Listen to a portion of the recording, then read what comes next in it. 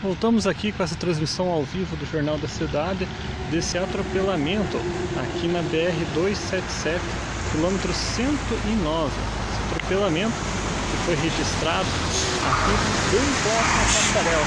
Nós estamos aqui vendo o pessoal da PRF, está no local, juntamente com o Instituto Médico Legal de Curitiba, e a gente pode acompanhar daqui, ó, logo após ele ser pessoal do Instituto Criminalística, a menos de 100 metros do local do atropelamento, a passarela aqui da região do Cercadinho, da Vila São Luís, aqui em Campo Largo. a gente pode ver logo atrás o pessoal do Instituto Criminalística que também está no local. A pista está tranquila nesse momento, sentido Curitiba. A pista está tranquila aqui, sentido Curitiba, e a gente acompanha aqui este Grave acidente aqui na BR-277, quilômetro 109. O veículo atropelador evadiu-se do local. Agentes da PRF estão no local, juntamente com o Instituto Médico Legal, para o recolhimento do corpo.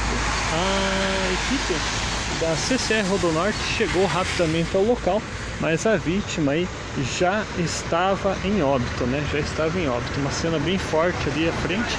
A gente pode acompanhar aqui os trabalhos das equipes da CCR Rodonorte do Instituto de Criminalística e também da PRF, né? As equipes da Rodonorte chegaram então rapidamente, o pessoal da Rodonorte chegou rapidamente ao local e né, aconteceu esse grave acidente. 109 mais 500. Acompanhamos aqui o pessoal da PRF, o IML está no local. Agora quando começar a perícia a gente não vai mostrar, né, devido aí à exposição do corpo aí bem grave aí desse atropelamento vítima fatal na hora.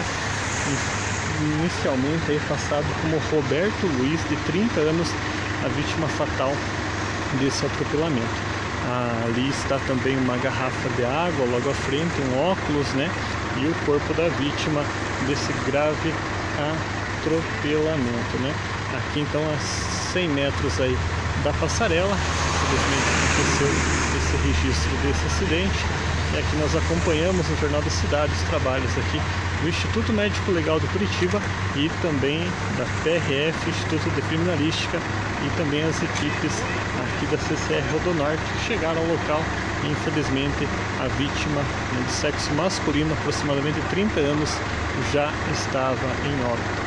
Esse acidente aconteceu aqui na BR-277, no quilômetro 109 mais 500 segundo o pessoal aí da concessionária, a menos aí de 100 metros da passarela.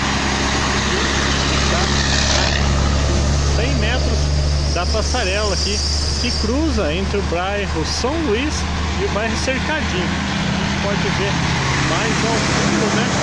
Vemos mais ao fundo a passarela a 100 metros aqui do local desse atropelamento na BR-277.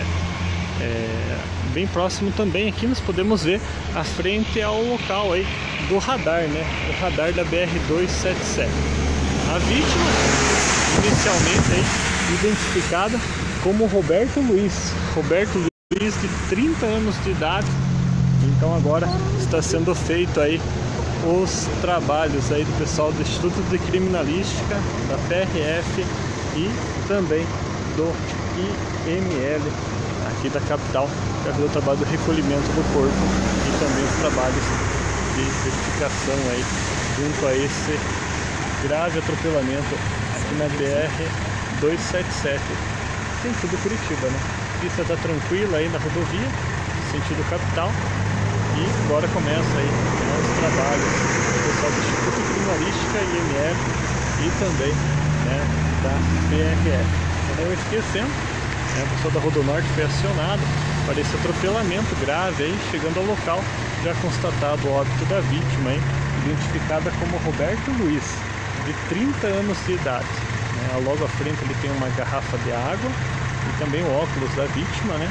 E as equipes aí da CCR no local aí, também da PRF, do Instituto Médico Legal e do Instituto de Criminalística. A qualquer momento, retornamos aqui no Jornal da Cidade com mais informações aqui da cidade de Campo Largo.